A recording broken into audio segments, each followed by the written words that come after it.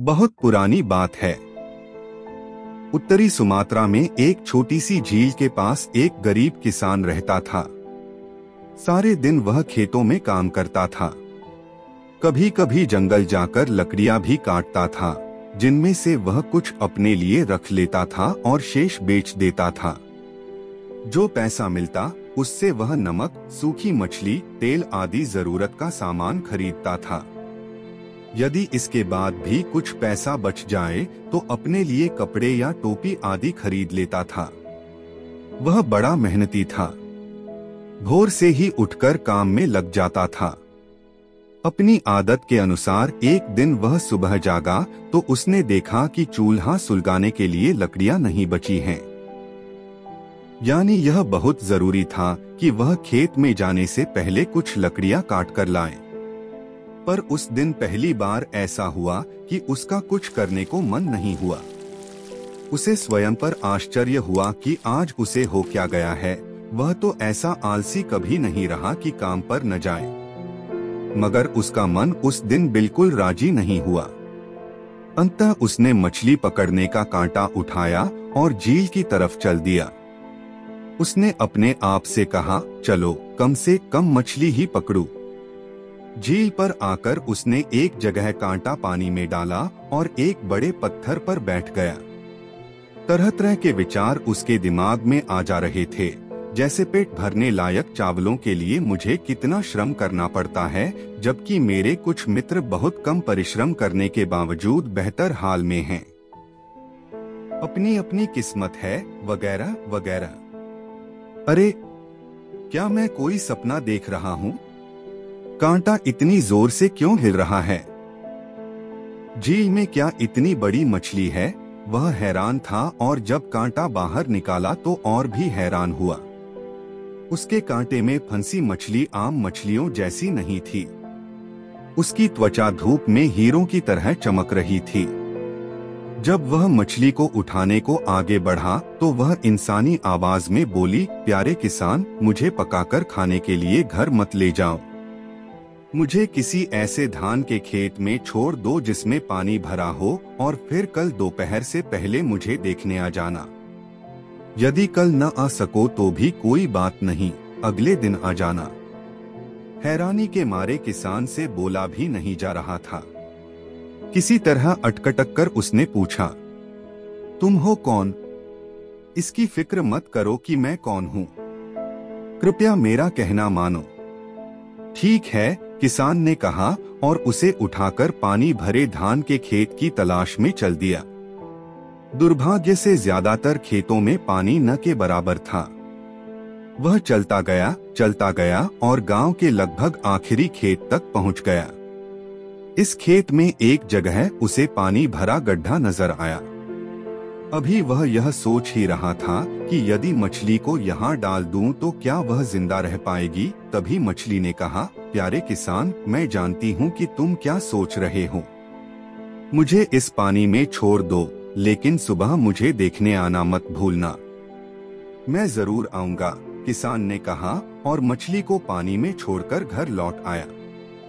रास्ते भर वह उस विचित्र मछली के बारे में सोचता रहा। यहाँ तक कि रात भर वह सो भी नहीं सका। अगले दिन वह बड़े सवेरे ही उठकर उस खेत की ओर चल पड़ा। उसे बड़ी उत्सुकता थी, इसलिए वह लंबे लंबे डग भरते हुए चल रहा था। अभी सूरज नहीं निकला था। मटमैला सा अंधेरा था और सन्नाटा, जिसे पक्षियों के और जानवरों के स्वर बीच बीच में भंग कर देते थे। जब वह खेत के पास पहुँचा तो उसने देखा कि किनारे पर एक सुंदर महिला अकेली बैठी है। किसान को देखकर वह मुस्काई तो किसान डर गया। उसने भागना चाहा। उसे भागने का उपक्रम करते देख वह महिला बोली, प्यारे किसान, भागो मत, डरो मत। मैं भूत नहीं हूँ, वही मछली हूँ जिसे तुम कल शाम यहाँ छोड़ गए थे। अब मैं मनुष्य के रूप में हूँ। मुझे घर ले चलो और अपनी पत्नी बना लो। पत्नी, क्या तुम मेरी पत्नी बनकर रहोगी? किसान ने थूक गटकते हुए पूछा। हाँ उसने उत्तर दिया।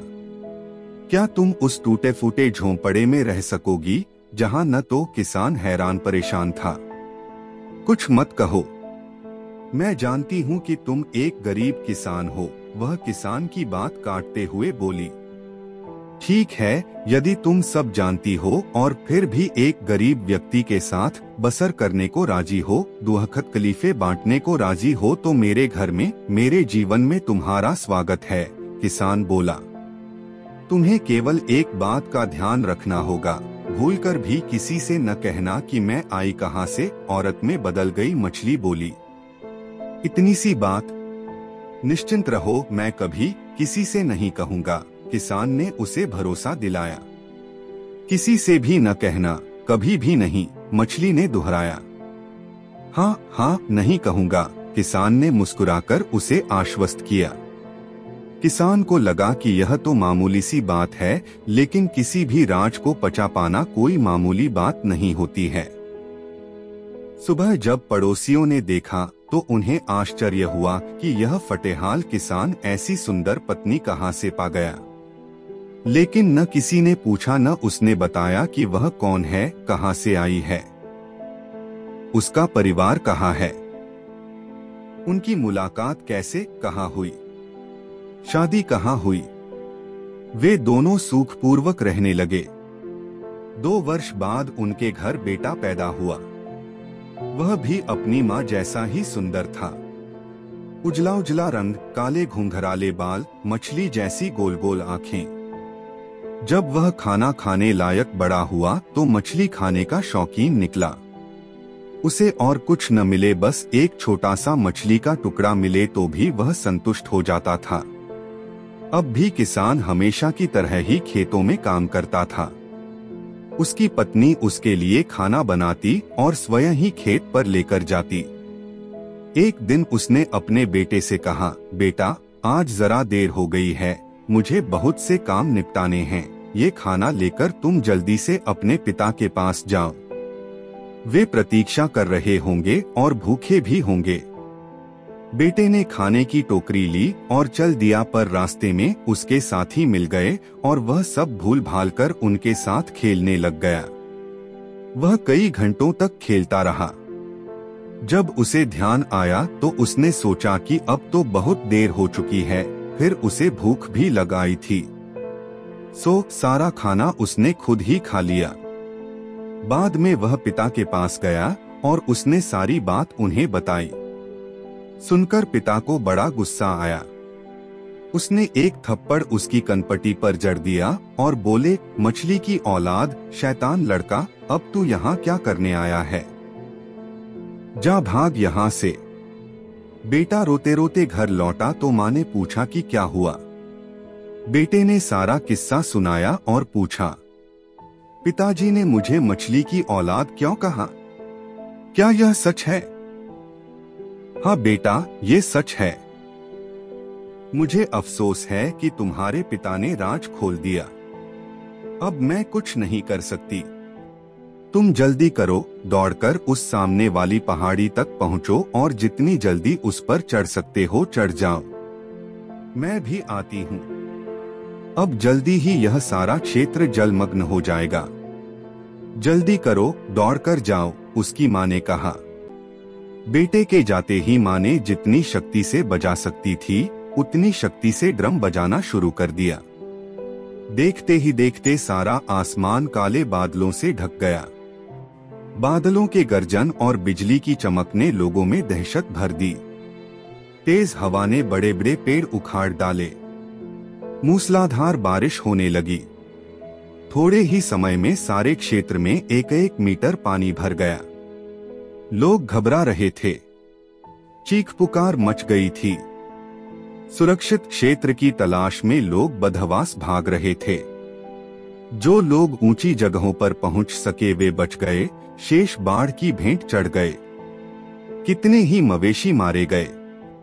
कुछ दिनों बाद बाढ़ का पानी उतर गया, लेकिन जहाँ किसान की झोंपड़ी थी, वहाँ पानी भरा रहा, बल्कि उसका स्तर लगातार बढ़ता ही गया। अंतः उसने एक झील की शक्ल अख्तियार कर ली। बाद में इस झील का नाम पड़ा तोबा झील। इस झील के पास के निवासियों का मानना है कि वह मछली, जो औरत बनकर गाँव में रही थी, अब भी इसी झील में रहती है। और जब वहाँ कोई नहीं होता तब वह सतह पर भी आती है।